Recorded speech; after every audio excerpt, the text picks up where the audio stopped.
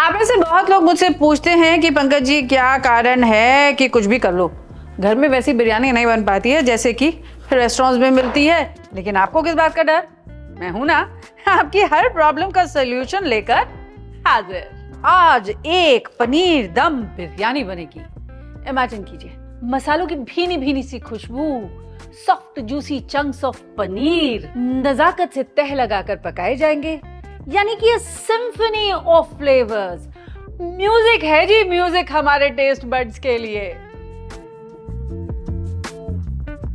अब बिरयानी तो पकाएँगे ही पकाएँगे, लेकिन बिरयानी के साथ साथ वो सारे नुस्खे, वो सारे गुर जो एक बिरयानी को पकाते वक्त दिमाग में रखने हैं ना, वो भी आपको सब बताऊँगी। नोट कर लीजिएगा। तो फिर शुरू करें।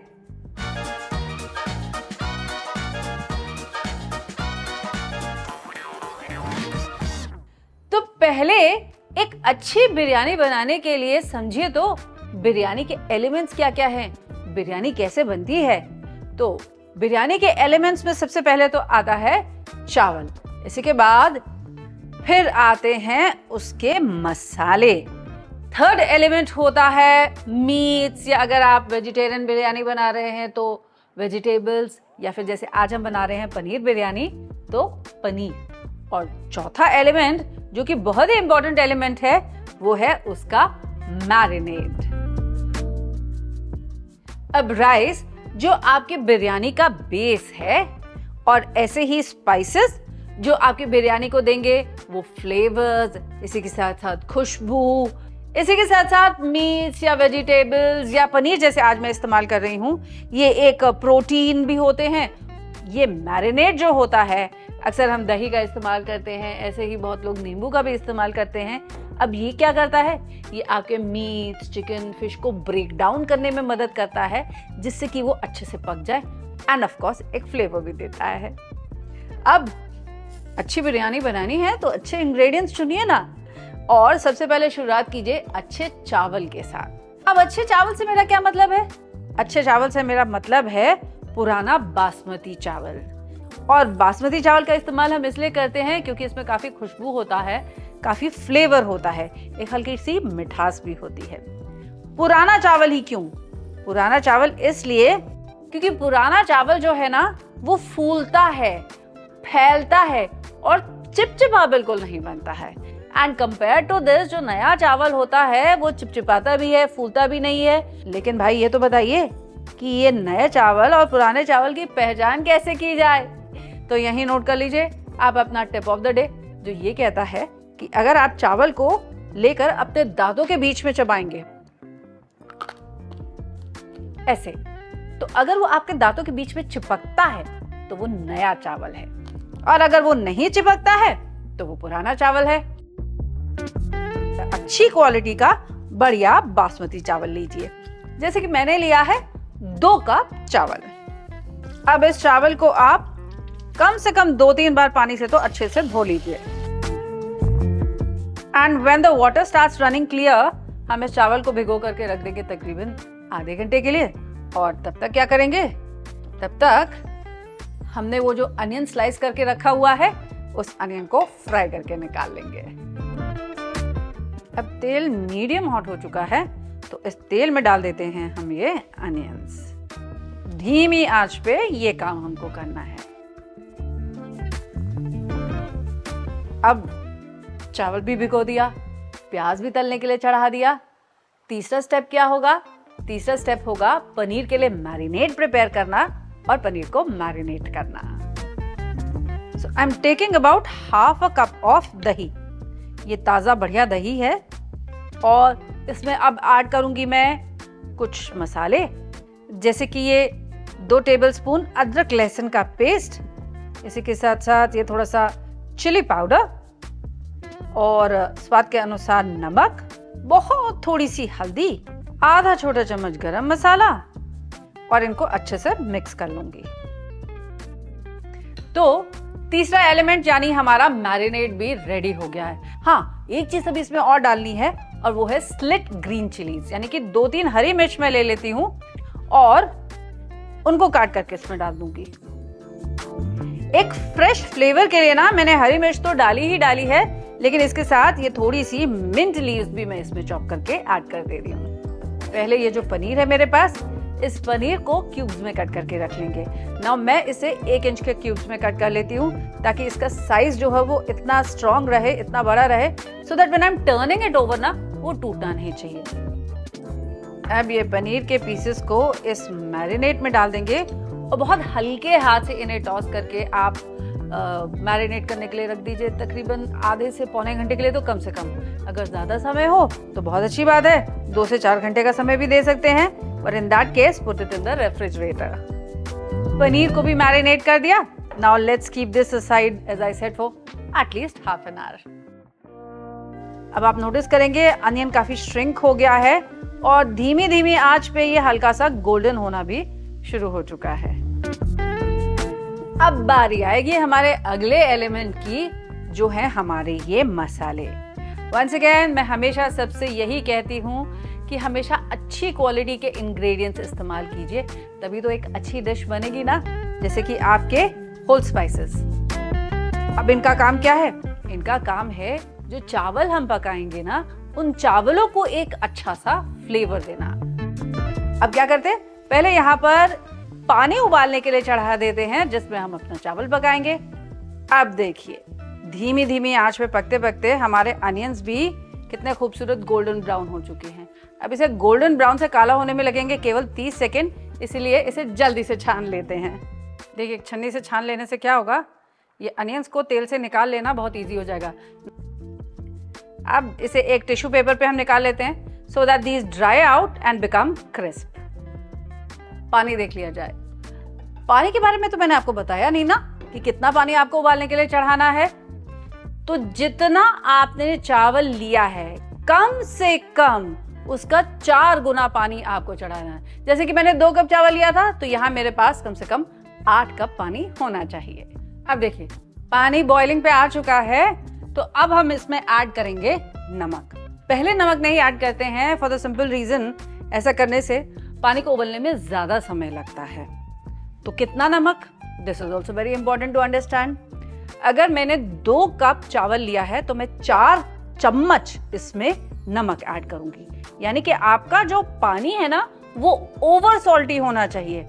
आप नमक ऐड करने के बाद एक बार उसे टेस्ट करके ज़रूर चेक कीजिएगा।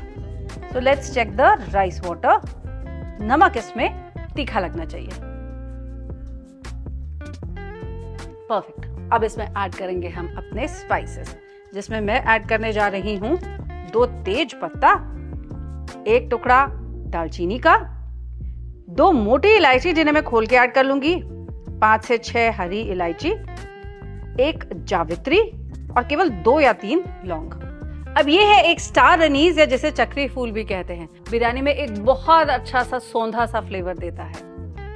काफ़ी बार ऐसा होता है कि जब हम बिरयानी बनाते हैं ना तो उसमें जो हमारे मसाले होते हैं, वो बहुत ओवर हो जाते हैं। एक चीज़ इसमें और ऐड करने जा रही हूँ। Once again for a very nice fresh flavour और वो है ये हरी मिर्च। दो हरी मिर्च स्प्लिट करके पानी में ऐड कर देंगे। पानी में बढ़िया सी मसालों की खुशबू आने लग गई है। तीन से चार मिनट के लिए आपको पानी को इन्हीं स्पाइसेस के साथ पका लेना है, और तब ऐड करेंगे हम इसमें चावल। चावल को हमने भिगो करके रखा हुआ है, ठीक है ना? लेकिन ध्यान इस बात का आपको देना है कि ये जो भीगा हुआ चावल है, इसका सारा पानी आपको डिस्कार्ड कर देना है। पानी बिल्कुल नहीं ऐड करना। किस कारण से? सोचिए। ये पानी क्या करेगा? एक तो हमारा जो यहाँ पानी उबल रहा है, उसके टेम्परेचर को डाउन कर देगा। और दूसरा हमने जो पानी में नमक ऐड किया हुआ है ना, उस नमक की क्वांटिटी को भी वो चेंज कर देगा। Now time to add this rice to the water तो ये क्या हुई? ये हुई आपकी next tip of the day जो ये कहती है कि बिरयानी के पानी में चावल को हमेशा आप छान करके ऐड करेंगे, उसमें सोकिंग वाटर बिल्कुल नहीं ऐड करेंगे। अब जब तक ये चावल पकेगा ना, तब तक हमें एक काम और फिनिश करके रख लेना है। वो जानते क्या है? वो है हमारा पनीर जो हमने यहाँ पर मैरिनेट करके रखा हुआ है। इस पनीर को भी लाइटली कुक करके रख लेंगे। तो उसके लिए चढ़ाते हैं एक पैन पैन भी मैं वही ले रही हूँ जिसमें मैंने अनियंस को फ्राई किया था। ताकि ऑयल भी वही इस्तेमाल करूँ तो फ्राइड अनियन का फ्लेवर जो है वो पनीर में अच्छे से आ जाए। अभी अनियन वाला तेल मैं ले ले रही हूँ यहाँ पर। तीन टेबल स्पून तेल जब गर्म हो जाएगा ऐड करेंगे इसमें आधा छोटा चम्मच शाह जीरा। इसी के साथ तीन से चार हरी इलायची जिन्हें मैं खोल लूँगी। आधा फूल जावित्री का, एक टुकड़ा दालचीनी का और एक स्टार यानी कि चक्री फूल। अब ये जो मैरिनेटेड पनीर के पीसेस हैं, इनको हम इस ऑयल में ऐड कर देंगे। बहुत केयरफुली एक तरफ़ पनीर पक रहा है और यहाँ चावल को भी चेक कर लिया जाए। अब यही नोट कर लीजिए, आप अपनी next tip of the day जो ये कहती है कि चावल को हमें केवल 75 परसेंट कुक करना है। जी हाँ फुल्ली कुक इसे बिल्कुल नहीं करेंगे, केवल 75 प्रतिशत तक, जैसे कि अब ये ऑलमोस्ट हो चुका है। ये देखिए, जब इसे प्रेस करूँगी ना, इसके बीच में एक ये व्हाइट लाइन सी मुझे दिखनी चाहिए। ये हो गया, अब गैस को कर देते हैं हम बंद अब इस चावल को इमीडिएटली हम ड्रेन आउट कर लेंगे एक छन्नी के साथ, ताकि इसका जो कुकिंग प्रोसेस है ना, वो रुक जाए। अभी इस चावल में इतनी इनहेरेंट हीट है कि उस हीट में ये चावल आगे पकता रहेगा। अब देखिए, पनीर भी यहाँ पर ऑलमोस्ट डन हो चुका है। पनीर को हमको ब्राउन बिल्कुल नहीं करना है। इसे लाइटली आप टर्न कर दीजिएगा। और उसके लिए भी एक नुस्खा नोट कर लीजिए। मेरी आज की टिप जो ये कहती है, पनीर को ऐसे ऐसे नहीं बिल्कुल चलाएँगे। आप अपने स्पैटुला को पनीर के नीचे पुश कीजिए और धीरे से इसे टर्न कर दीजिए, ताकि आपका जो पनीर है वो बिल्कुल टूटे नहीं। अब गैस को मैंने कर दिया है बंद। अब ऐड करूँगी इसमें मैं अपने खुशबू वाले इंग्रेडिएंट तो यही नोट कर लीजिए, आप अपनी next step of the day जो ये कहती है, कभी भी आप जो खुशबू वाले एलिमेंट्स हैं, जैसे कि रोज वाटर और केवड़ा वाटर या फिर जैसे मैं ऐड करने जा रही हूँ, इसमें ये जावित्री और इलायची का पाउडर ये पकाते वक्त नहीं ऐड करेंगे, ये हमेशा एंड में ऐड करेंगे। वो इसलिए क्योंकि ये इतने डेलिकेट फ्लेवर्स होते हैं ना कि हाई हीट पे इनकी खुशबू उड़ जाती है।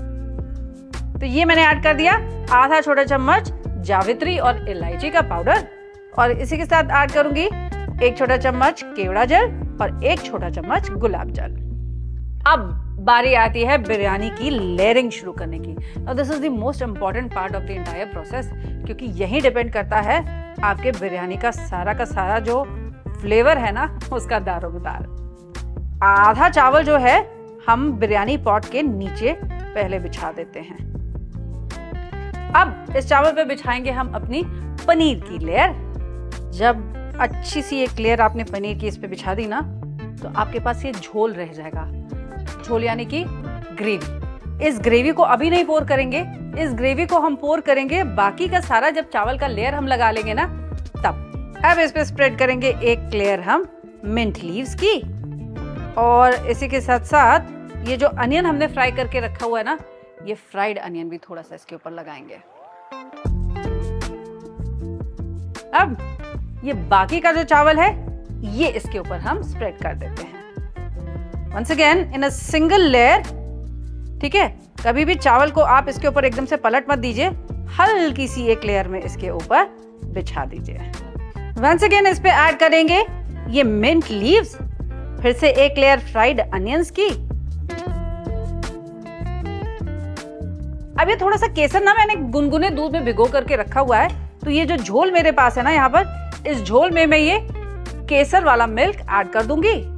और इसको दो या तीन मिनट के लिए हम और पका लेंगे। अब इसी में क्वार्टर कप मिल्क मैं और ऐड कर दूँगी। ठीक है? और इसी के साथ साथ मेरे पास एक बहुत खास इंग्रेडिएंट है, वो भी ऐड करूँगी और ये है मीठा इत्र। ये क्या है? ये केवड़े का इत्र है जो खाने में इस्तेमाल किया जाता है। अगर आपके पास ये मीठा इत्र ना होना तो आप एक टीस्पून केवड़ा वाटर इसमें और ऐड कर सकते हैं। तो जस्ट टू ड्रॉप्स ऑफ़ मीठा इत्र विल गो इन। बस दैट्स इट ज़्यादा मत ऐड कर दीजिएगा, नहीं तो काफ़ी कड़वाहट आ सकती है। Give this a good stir अब गैस को कर दीजिए बंद। और ये जो झोल हमने तैयार कर लिया है ना, इस झोल को हम पोर कर देंगे अपनी बिरयानी के ऊपर। अब ये जो चावल का पानी हमने यहाँ पर बचा करके रखा हुआ है तो about half a cup of rice water हम इसमें ऐड कर देंगे। And now before I seal it मैं इसको देसी घी से डॉट कर दूँगी। चार टेबल स्पून देसी घी, चार अलग अलग पार्ट्स पे। अब मैंने ना यहाँ पर आटा ऑलरेडी गूंद करके रख लिया है। तो पहले इसे मैं रोल आउट कर लूँगी एक लंबी पाइप के जैसे। और जो मेरा ढक्कन है ना, उस ढक्कन को अच्छे से मैं सील करने के लिए पहले प्रिपेयर कर लूँगी। देखिए।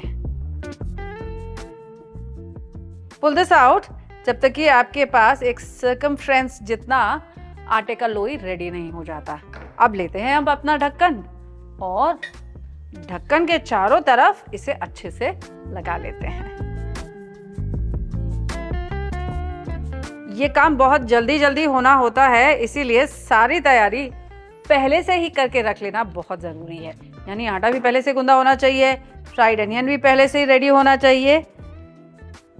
अब इसे आप हर तरफ़ से इस तरह से दबाते जाइए ताकि ये अच्छे से सील हो जाए। स्पेशली अराउंड दिस हैंडल इसे अच्छे से आप ज़रूर कवर कर दीजिएगा। हम क्या कर रहे हैं? दम स्टाइल ऑफ़ कुकिंग ये दम की बिरयानी पक रही है है ना? तो दम आना इसमें बहुत ज़रूरी है। और दम का क्या मतलब होता है? दम का मतलब होता है सांस। तो जब तक आप इसे अच्छे से सील नहीं करेंगे, इसमें सांस आई कि नहीं आई ये हमें कैसे पता चलेगा? ठीक है? तो वंस दिस इज़ डन अब इसे गैस पे लाते हैं और पहले पाँच मिनट तो हम इसको मीडियम हाई हीट पे रखेंगे और उसके बाद इसकी हीट इमीडिएटली रिड्यूस कर देंगे और सबसे लो हीट पे हम इसे कुक होने देंगे तकरीबन आधा घंटा के लिए, ताकि जितने फ्लेवर्स हैं, वो अंदर ही अंदर घूमते रहें और हमारी बिरयानी में, राइस में, पनीर में आ जाए एक बढ़िया सा फ्लेवर तो जब तक हमारी बिरयानी जो है वो दम पर आती है ना, तब तक हम एक रायते की तैयारी कर लेते हैं। अब बिरयानी का मज़ा तो रायते के साथ ही आएगा ना? और वो रायता जानते किसका होगा? वो रायता होगा गार्लिक का, जिसे हम कहते हैं बुरानी रायता। इसके लिए बस चार से पाँच क्लोव्स ऑफ़ गार्लिक को मैं पहले अच्छे से कूट लूँगी, थोड़े से पानी के साथ। अब हमारी जो पनीर बिरयानी पक रही है ना वो पक रही है दम स्टाइल में। अब ये दम स्टाइल ऑफ़ कुकिंग क्या होता है? बेसिकली फ्लेवर्स को सील कर दिया जाता है किसी भी पॉट में एंड यू वेट कि जब तक वो सारे के सारे जो फ्लेवर्स हैं आपस में अच्छे से मिल नहीं जाते हैं, और जो उसमें थोड़ा सा जो मॉइस्चर होता है ना, वो इतने स्टीम में नहीं कन्वर्ट हो जाता कि वो सील तोड़ के कहीं से बाहर निकलने लग जाए। तो जब वो सील तोड़ के कहीं से बाहर निकलने लग जाएगा ना, हमें पता चल जाएगा कि हमारी डिश में दम आ चुका है और अब हम इसको खोलने के लिए तैयार हैं। तो इसीलिए ये जो दम कुकिंग होता है ना, दम टेक्निक ऑफ़ कुकिंग जो है, इसको मास्टर करना थोड़ा सा डिफ़िकल्ट हो जाता है। कहीं ऐसा ना हो कि पता चला, आपकी बिरयानी में दम तो आ गया, लेकिन कहीं से सील शायद टूटी हुई थी, पूरी सांस बाहर निकल गई और नीचे से आपकी बिरयानी लग गई या जल गई। तब क्या करेंगे आप? सच बताइए, अगर बिरयानी नीचे से लग जाएगी तो क्या किया जाएगा? हमेशा की तरह, इसका नुस्खा भी है ना मेरे पास। तो बस करना यह है कि गलती से भी अगर आपका पुलाव या बिरयानी या चावल नीचे लग जाता है ना, आप खोलते हैं, उसको जले की महक आती है तो इमीडिएटली इसे क्लोज कर दीजिए। अब एक प्याज लीजिए छिलके के साथ, उसे चार फांक में कट कीजिए अपने बिरयानी, पुलाव या चावल में नीचे दबा दीजिए और इमीडिएटली कवर करके रख दीजिए किसी भारी बर्तन के साथ। दस मिनट बाद जब आप ढक्कन खोलेंगे ना तो चावल में से जले की महक बिल्कुल जा चुकी होगी। और जानते हैं, वो जो प्याज है, वो सारी की सारी महक को अब्जॉर्ब कर लेता है। तो अच्छा वाला चावल, बिरयानी, पुलाव निकालिए, उसे एंजॉय कीजिए। नीचे जो लगा हुआ है, जला हुआ है, उसको तो ऑफकोर्स हमें डिस्कार्ड ही करना पड़ेगा। है ना? तो देखा, बातों बातों में आपको एक और मैंने नुस्खा भी बता दिया। अब हम क्या करने जा रहे हैं? रायता बनाने जा रहे हैं। तो एक बोल में मैं ले ले रही हूँ यहाँ पर, आधा कप दही। अब इसमें ऐड करेंगे ये क्रश्ड गार्लिक। थोड़े से पानी के साथ इसे निकाल लूँगी मैं। अब ऐड करेंगे सॉल्ट और रेड चिली पाउडर और इसे चिल करने के लिए हम फ्रिज में रख देंगे। अब रायता डन और आप नोटिस करेंगे कि हमारी सील में यहाँ से दम जो है वो निकलने लग गया है। सांस आने लग गई है, यानी कि बिरयानी में दम आ चुका है। एकदम धीमी आँच पे इसे 10 मिनट के लिए हम और पकने देंगे। एंड वंस यू सी कि ये स्टीम जो है वो थोड़ा कम पड़ने लग गई है तो गैस को कर दीजिएगा बंद और बिरयानी को आप 10 मिनट के लिए ऐसे ही पहले रेस्ट करने देंगे। पैन का ढक्कन नहीं खोलेंगे। नोट कर लीजिए, बहुत इंपॉर्टेंट बात है आपकी टिप ऑफ़ द डे पाँच मिनट हो चुके हैं, अब पॉट को खोल के देखते हैं बिरयानी रेडी हुई कि नहीं हुई। जजमेंट टाइम इसके लिए सील को पहले आप साइड से कट कर लीजिए। Now let's reveal the biryani क्या लाजवाब खुशबू है। और आप नोटिस करेंगे कि चावल का एक एक दाना जो है वो कैसे खिला खिला बना है इसमें। तो मैं तो इसे 10 मिनट का समय और देने जा रही हूँ। आप इसे घर में ज़रूर ट्राई कीजिएगा और मुझे ज़रूर बताइएगा कि इस बार आपकी बिरयानी किसी भी रेस्टोरेंट से बेटर बनी कि नहीं।